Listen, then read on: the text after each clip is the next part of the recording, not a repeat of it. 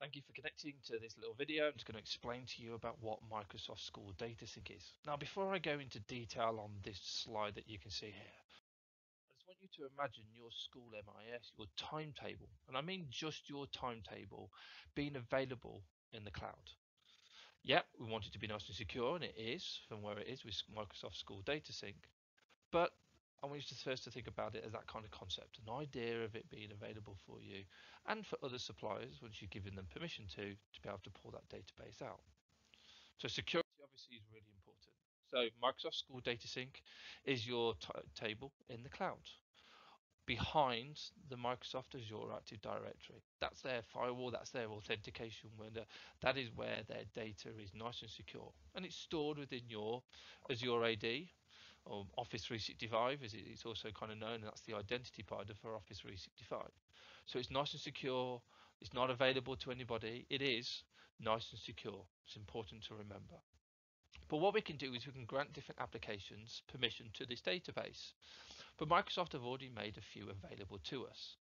The first couple being Microsoft Teams. So what it does Teams goes and finds your uh, classes from that database and provisions a team per class.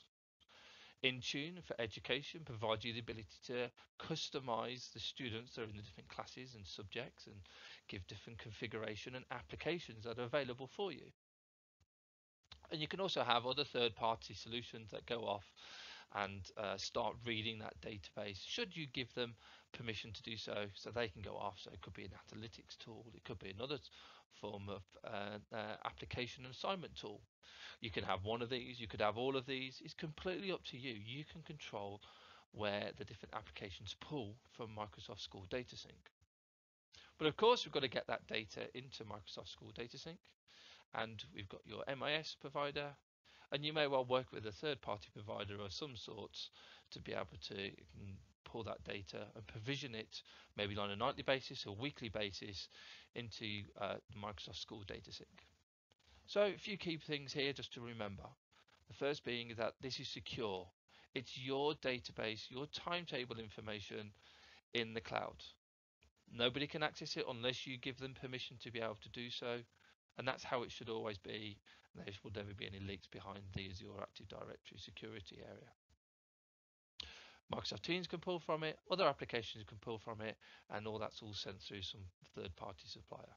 So you can find more about School DataSync on sds.microsoft.com. You can see connectors on there. You can also see applications that are being pulled. That can give you this whole single sign-on experience to really help you in your classroom for teaching and learning. So I'm been Alex Pearce. Thank you for connecting and listening in. You can get hold of me on Twitter. I'm Alex underline Pearce or you can email me at apearce at bscnetworks.com. Thanks for listening.